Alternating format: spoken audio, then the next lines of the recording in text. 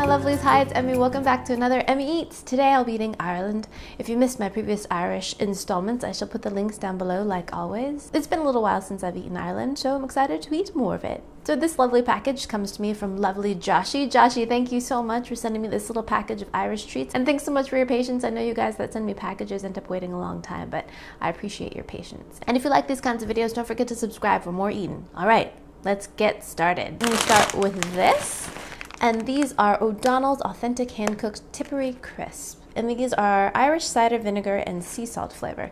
Joshi tells me that these are a relatively new brand and recommends that I eat them on buttered bread. I have never eaten chips or crisp on bread before. So here they are. Beautiful bag of gluten-free O'Donnell's authentic hand-cooked Tipperary crisp. So Tipperary is a county that's found in Southern Ireland. Let's give that a crack. Oh, they smell great. Nice and vinegared. I love salt and vinegar chips. And this is what they look like inside. Beautiful chip, kind of got nice little bubbles on them. And these look like they have a little bit of the skin on them, so they're unpeeled potatoes. Love that. That's how I like my fries. All right, let's give these a taste. Here we go. Itadakimasu. Mmm. Terrific. Yum. Really great crunch as you can hear, and really lovely potato flavor. I love potato chip that actually tastes like potato. There are a lot of chips out there that just kind of taste bland. And this is lovely. It has a really great potato flavor in there, along with salt and vinegar. If you've never had a salt and vinegar chip, it's a really amazing combination. It can be quite assertive if you're not used to it, because it is vinegar. But this is a really kind of mild vinegar flavor in the sense that it's a little bit sweetened. It tastes kind of malty, and really complements the fried flavors of the potato chip. Love it. So as instructed, I'm gonna taste this on a piece of buttered bread. So here's my buttered bread. I'm gonna put some chips on top, or as they say in Ireland and the UK, crisp. And give that a go. Maybe I should fold it in half. Well, let's do this open faced. All right, here we go.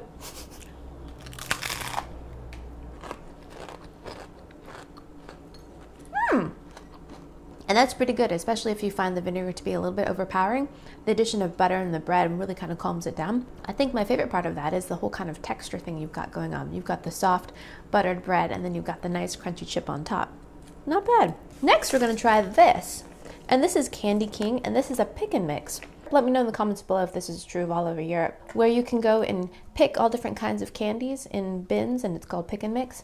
Here in the States, you can do that, but it's not ubiquitous. You don't find it everywhere.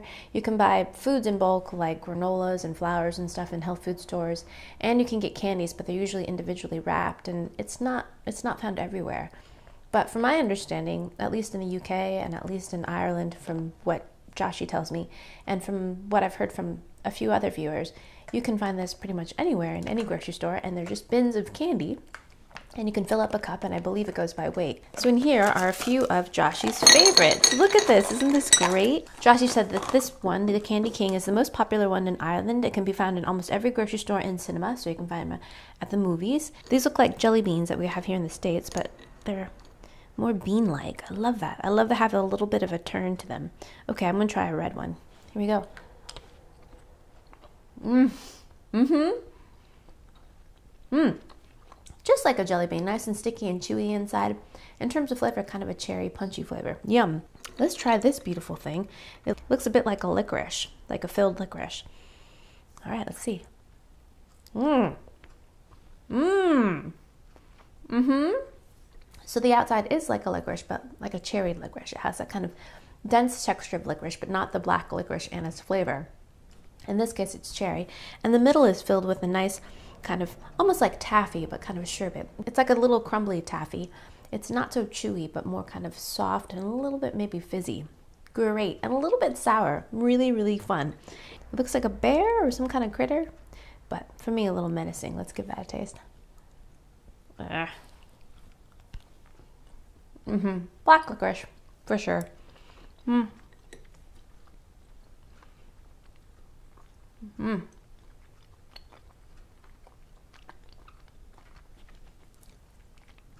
Not my favorite by any means, as most of you know, but I think I'm beginning to tolerate it.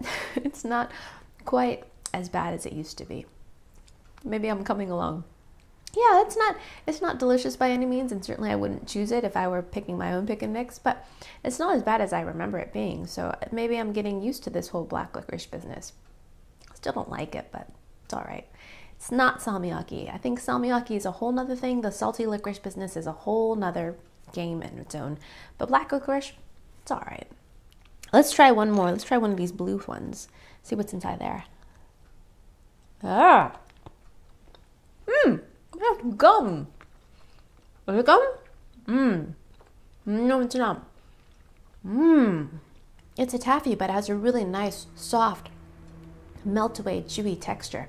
It reminds me a lot of Japanese candies. In terms of flavor, tastes a lot like Ramune candy. Ramune flavored candy in Japan is also known as soda flavor, and it has this kind of elusive, bubblegummy lemon lime flavor, and almost exactly like this. And it's also blue. So if you're in Ireland and you've never had Ramune candy from Japan, just have one of these little blue guys, blue balls, and you'll have something very, very similar to Ramune. Next, we have this candy, and it's called Big Zappers. Big Zappers Sour, Mega Sour Gum. It has a caution on it. Eat one zapper at a time. Zappers are very sour gum product. Some consumers may be sensitive to very sour sweets. Zed Candy recommends you eat one at a time. All right, there's a caution on it. All right, let's take a look at these. Big Zapper Sour. Oh, wow. Okay, I'm going to try a yellow one. See if I can take it. Wow. That is very sour but but tolerable. Mm-hmm. It's quite sour, but because it's a gum, you can chew it up, and the sourness really dissipates. So it's not too bad. In terms of flavor, I can't really pinpoint any specific kind of flavor. It's just sour. Maybe lemon. And if we're doing a sour candy kind of comparison, I would say these are much better than the warheads that we have here in the States. If you missed that video, I tasted sour warheads. They're a kind of candy that you can find here in the US that are super sour. It's not a gum, but again, in the same realm of this super intense sourness. These are better. Yeah. And you're left with a little piece of gum to chew. Nice. So this is a Fry's chocolate cream. This is an old-fashioned company called Fry's. I've had their mint bar, which is amazing. So it says it's a rich dark chocolate with a smooth fondant center.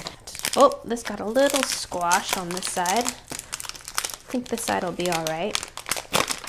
Oh, but look at that. I love how it says fry, fry, fry, fry, fry on it. Okay, snap a piece. And that's what it looks like inside. It looks a lot like a York peppermint patty inside. it smells really lovely of dark chocolate.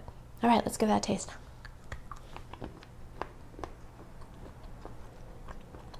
Mmm, really nice dark chocolate flavor and snap. In the middle is a fondant, which is very sweet, but actually goes really nicely with the bitterness of the dark chocolate. Really kind of nice little balance there but I'm really craving mint. I'm having a little bit of a Pavlovian experience because I really want this to be mint. This combination of dark chocolate and fondant filling, really, I think I'm conditioned at this point for this to be mint. So, yeah. It's still delicious, but I just want a little bit of peppermint. mm. Next, we have two little lozenges. They're both made by the Ritchie's Company. One is cinnamon, and this one is clove. And these are another old-fashioned treat. Let's try the cinnamon one first. I love this packaging. And Joshi mentioned in my Emmy Eats Ireland Part 2 video in which Donal sent me a bunch of really great Irish candies that I tasted something by Ritchie's and it was called Milky Mint. And Donal, if you're watching, Happy New Year. And Joshi tells me that he met you a couple years ago, so he wanted me to say hello to you once again. All right, so let's go back to the task at hand, which is eating these. And these are Ritchie's cinnamon lozenges. And let's open this up. Oh, wow, look at this. And they look like tablets with a light kind of peach color to them. Ooh, very strong cinnamon smell. And this reminds me of a candy that I had from Scotland. And they were called tatties, and they look like little potatoes. A very strong cinnamon smell to those as well, and same kind of chalky color. But those look like potatoes. Let's see how these compare. Mmm. Wow. And they do have a very chalky consistency to them, a little bit dry, and very strong, spicy cinnamon heat and flavor to them. Nice. a very strongly flavored candy, but I think would be very effective in eliminating odoriferous emanations from your, you know, mouth. Good. Let's try the next Ritchie's one, and this one is clove. And this one, I imagine, is going to be very similar to the cinnamon lozenge, but clove flavored instead. This one has a very bright pink color to it, and it looks very similar to the cinnamon, but pink. Ooh, very strong clove smell. I'm not a huge fan of clove. It reminds me of old fashioned pompanders that people used to put in their lingerie drawers.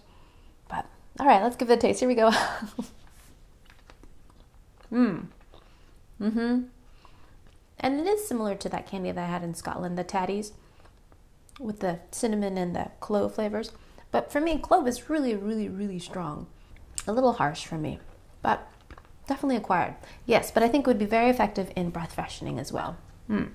And these are made by the Oatfield Company and they're called Eskimo Mints, mint flavored boiled sweets. So, boiled sweets, here in the US, we call them hard candies. And yeah, Joshi says this is a very old Irish company that have been making sweets for over 85 years. They're very popular among all ages here in Ireland and they're scrumptious no matter how you eat them. There's some nice old fashioned pictures here of the tradition of sweets making. Oh, these are lovely. Look at this packaging. How cute are these? Oatfield Oh, I can already smell the peppermint. And there's the beautiful mint. It's got this really nice aqua color to it. And it smells very pepperminty. All right, here we go. Let's give that a taste. And I don't know if there's anything inside. I'll have to bite and see. All right, here we go. Mmm. That is great. Really clean, fresh, pepperminty flavor.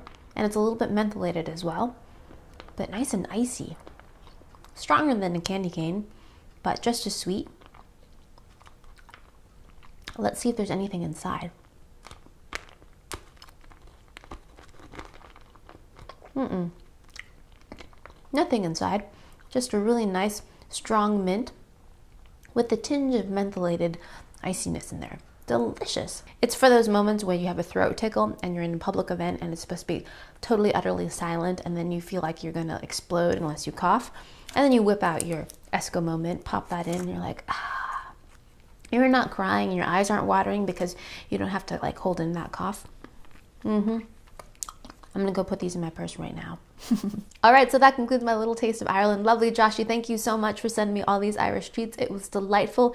And like all my country tasting videos, I'm just wanting to visit these countries even more. So yeah, I hope to make it to Ireland someday. My husband actually has some ancestry back there, so hopefully I will make it there. Hmm, someday.